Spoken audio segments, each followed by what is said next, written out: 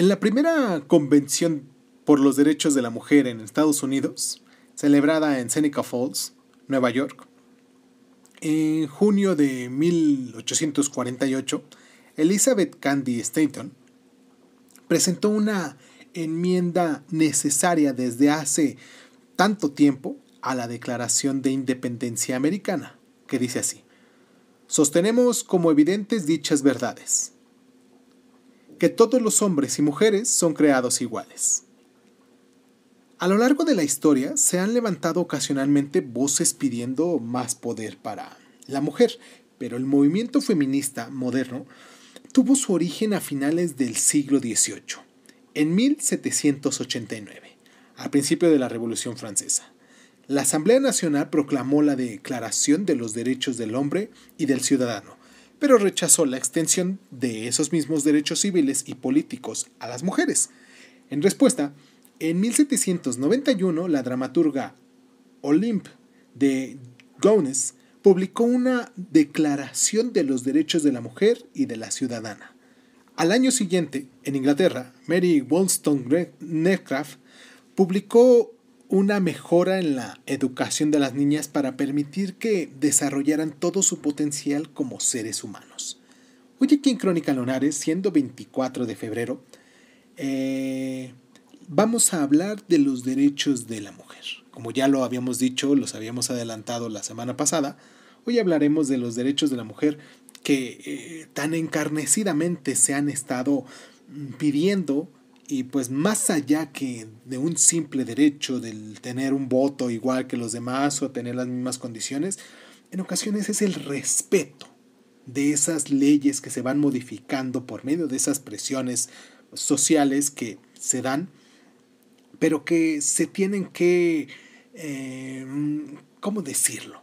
Obligar a lo mejor a a nuestras autoridades a que sí se respeten y que sí se lleven a cabo y que sí se mantengan con el paso del tiempo.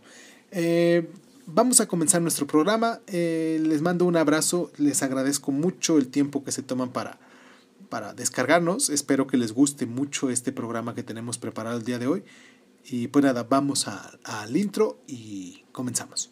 Cierra los ojos. Si escuchas que alguien se acerca, no temas. Todo estará bien.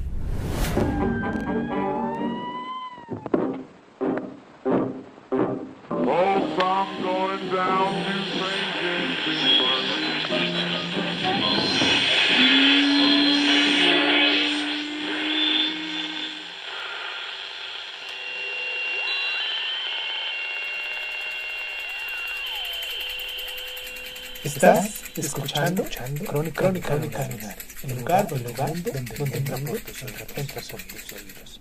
Bienvenido. En la época que escribía Mary Wollstonecraft y Olympe de Groans, las niñas de clase media y alta recibían una formación que les permitía poco más que leer, escribir, coser, dibujar y cantar, y las mujeres se consideraban como simples adornos, suministradoras de herederos, propiedad de sus padres y esposos, a los que tenían que someterse en todo. Las mujeres solteras podían tener propiedades y gestionar sus negocios, pero en Gran Bretaña, por ejemplo, en cuanto se casaban, sus propiedades pasaban al marido, y en Francia el Código Napoleónico de 1804 afirmaba los derechos de maridos y padres a expensas de los de las mujeres. Como consecuencia del dominio masculino en todas las esferas de la sociedad, las mujeres tenían prohibido el acceso a cualquier profesión, a la educación superior y también al voto o a ocupar puestos políticos. Para las feministas, habría que dar el primer paso importante.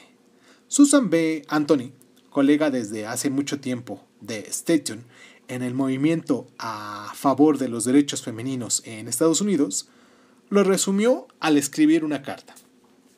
Nunca existirá una igualdad completa hasta que las mujeres ayuden a redactar las leyes y elijan a los legisladores. Las mujeres debían votar antes de que se pudiera realizar cualquier cambio. Y en 1869, Anthony y Station fundaron la Asociación Sufragista Nacional. Se sentían especialmente vejadas porque la decimoquinta enmienda de la Constitución solo había afirmado que el derecho de los ciudadanos de Estados Unidos a votar no se puede negar, por razones de raza, color o la condición previa de servidumbre. No se había mencionado el género. En esa época mucho menos ilustrada, una de las seguidoras de Anthony y Station se quejaba de que la enmienda otorgaba el voto a Patrick, Sambo, Hans y Hungtung, es decir, trabajadores irlandeses, negros, alemanes y orientales, considerados todos ellos como analfabetas, pero se lo negaba a las mujeres educadas de clase media. Casi al mismo tiempo, se estaba desarrollando en Gran Bretaña la campaña por el sufragio femenino.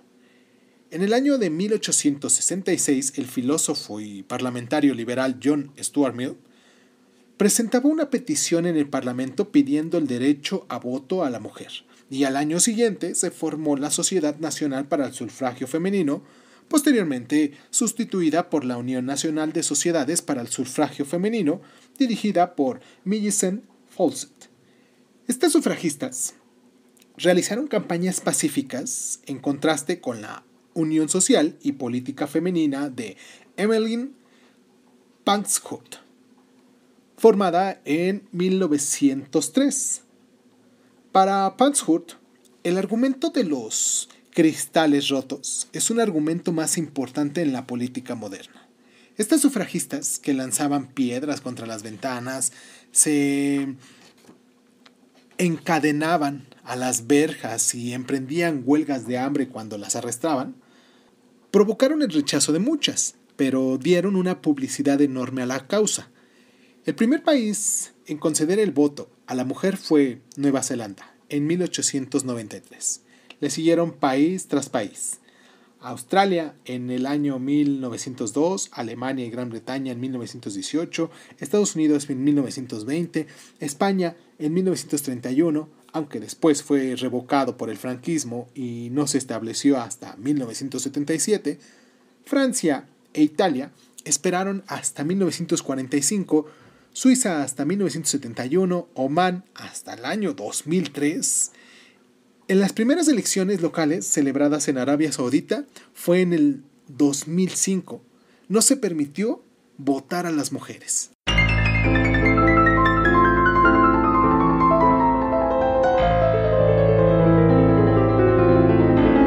Si las mujeres son educadas para la dependencia y la sumisión al poder, sea bueno o malo, dónde debemos parar.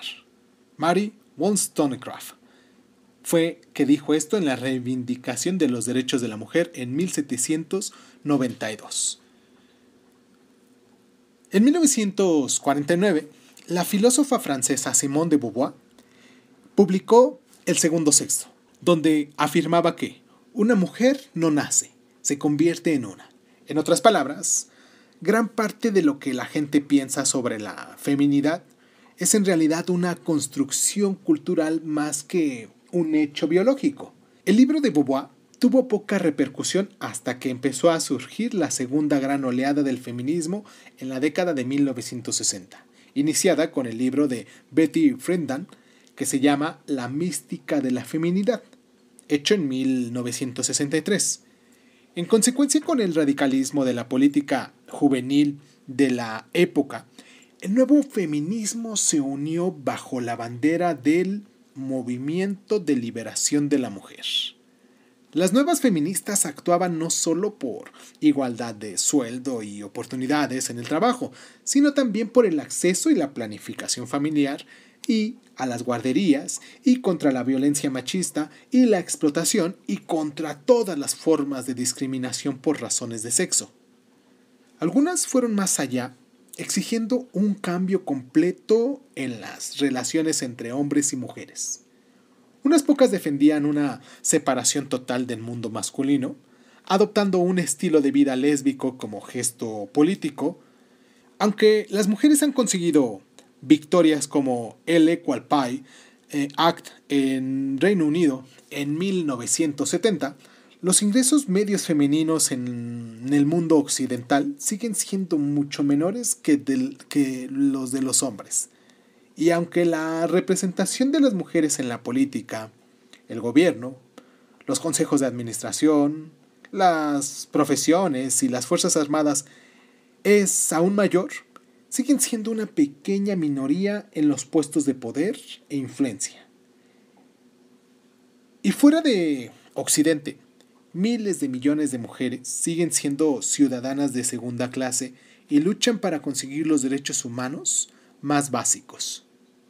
Vamos a hacer una pequeña pausa aquí a continuación para poder este, tomarnos un respiro porque sigue todavía mucha información. Vamos a hacer una gran cronología de hechos al final del programa. Pero bueno, déjenos sus mensajes en las diferentes plataformas donde este, ustedes nos encuentren como Crónica Lunares de Zoom y yo con gusto les voy a contestar todas y cada una de ellas. Vamos a la pausa y regresamos.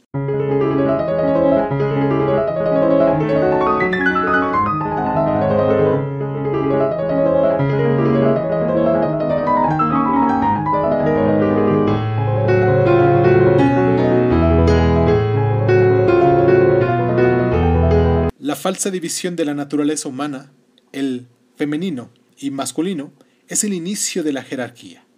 Gloria Steinem, en el Observer, el 15 de mayo de 1994.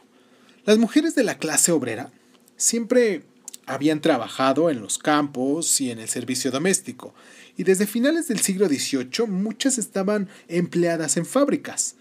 Mujeres solteras de clase media podían trabajar como maestras, pero no fue hasta finales del siglo XIX cuando unas pocas mujeres pudieron acceder a la educación superior y a las profesiones como la medicina. Durante la Primera Guerra Mundial y de nuevo durante la Segunda, millones de mujeres en Gran Bretaña y América fueron reclutadas para trabajar en sectores tradicionalmente reservados a los hombres, como la ingeniería pesada e incluso las Fuerzas Armadas. En la Segunda Guerra Mundial los nazis se negaron a adoptar dicha política, manteniendo que el papel de la mujer se debía limitar a Kinder, Kunche und Kunche, niños, cocina e iglesia.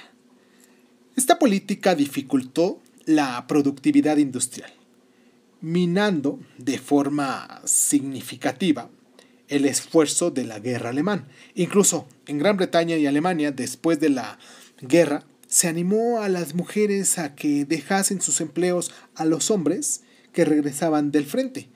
Se produjo un inmenso baby boom y millones de mujeres se encontraban atadas de nuevo a su papel doméstico y maternal. Parecía que se habían vuelto a la situación anterior, pero a muchas mujeres la guerra les había permitido vislumbrar la libertad y ese poder, poder del cual, tiempo después, no mucho, exigieron.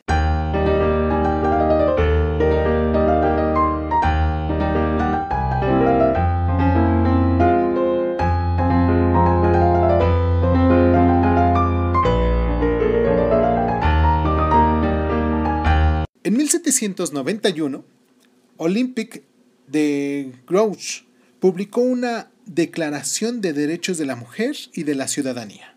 En 1792, Mary Wollstonecraft publica Reivindicación de los Derechos de la Mujer. En 1848, y hay que poner mucha atención en estas fechas porque no es un movimiento reciente, aunque en muchos medios así lo estén marcando, se inicia en Estados Unidos en 1848, perdón, eh, se inicia en Estados Unidos la campaña por el sufragio femenino en la Convención de Seneca Falls. En 1865, Elizabeth Garrett Anderson se convierte en la primera mujer en el Reino Unido en obtener el título de doctor. En 1869 fue la formación de la Asociación Nacional para el Sufragio Femenino en Estados Unidos y Joan Stuart Mill publica El sometimiento de las mujeres. Fue también el lanzamiento de Droids Dance Femmes. En 1878, la Universidad de Londres es la primera en el Reino Unido en otorgar títulos a las mujeres. En 1882, el Parlamento de Reino Unido concede a las mujeres casadas plenos poderes sobre sus propiedades. En 1890, fue la formación en Estados Unidos de la Asociación Nacional Americana para el